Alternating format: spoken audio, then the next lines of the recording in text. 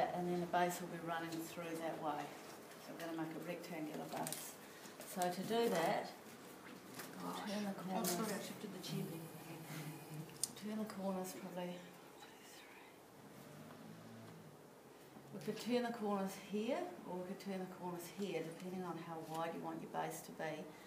So from either end, we can count one, two, three, four. One, two, three, four. Yeah, I think so. Well, it's going to be quite a big basket, so I That's think what I I'm probably thinking. need it a bit wider. here. no, that would be lovely, thanks. So on barrels, we'll turn it one, two, three, four, and we'll put a peg in there. We'll turn it, turn the corner between the fourth and the fifth strip. Mm-hmm. And then here, one, two, three, four, five. We turn the corner here between the fourth and the fifth. Now we could go wider to the Between the fifth fourth and the and sixth, or we could go narrower to the third and the fourth. There's no particular rule about it, but the closer you come back this way, like if we turn the corner between the third and the fourth here and here, what that would simply mean is that the base would be narrower and longer. So the further you step Mm. it out, the, The wider, wider. it becomes and the shorter it becomes. So did you do the fourth and fifth for that one? I think I did. think? Yeah, I think I did. Um, but it's really important that you decide and then you make it the same on all corners because if you do one corner different, you'll get all your corners done and you'll weave, weave, weave, and you'll be all happy, and then you'll get up to the top and it won't work because you'll have one of the flaxes has been turned at a different place at the bottom, so the top won't join, and then you'll have to undo. So just important to, to make sure you get all the corners in the same place. So one, two, three, four, five. Put a peg on there to mark between the. One, two, three, four, five. There. So the pegs are just to mark.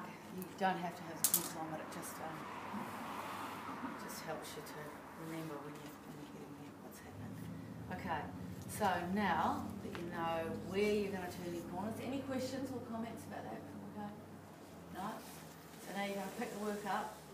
This is actually probably possibly easier sitting on the floor. Pick it up gently so that you've got the shiny side, the outside of the kete toward yourself, and then this is going to be the inside. And now here's the, the fourth and the fifth where we've put our pegs, so we're going to use these two to create the corner, like this. So I've got the, the, the correct two strips, so now I can take the peg off, but don't get distracted. Don't put one of them down and pick another one up or anything like this. Make sure you've got the same two that you marked. And you're going to turn your corner like this, there, like that. So The fifth goes over the fourth? Uh, this one here has just been under here, so now it's going to go over. This one has been over, so it's got to go under. So you can't go like that.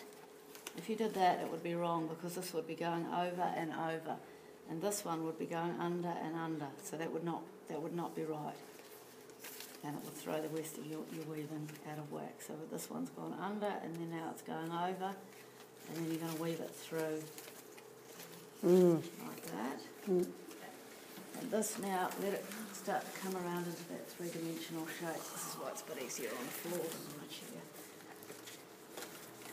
Then we'll take the next one along, leave that in. Then the next one, probably weave about four or five. Get that corner really holding together. Then the next one there, like that. Okay. And I'll just pull those through. Mm. Wow, Nice, hey? Oh. amazing. So let it now roll around into that three-dimensional shape. Tighten it up a bit.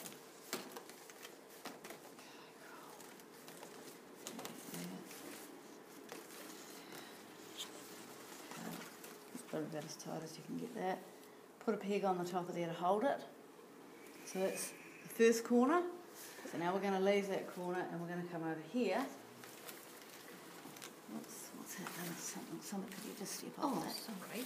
Yeah, roll it around here. And here's our next corner. One, two, three, four, five. There's the two that we're going to use. Pull those out. All right, now we know where we're going. We can take the marker peg off. Make sure we get the right ones. So those two are going to form the corner. And now this is going to weave up this way. Um, board where we started. So where's that through like that? Then the next one. Okay, so then the next one. I should have unlocked that door before. God, thanks, Nathan. I should have unlocked that before and I didn't even remember to do it. Through here. Hi! Uh, Just doing corners. Uh, there, there, and we'll do the next one. There. And then maybe one more.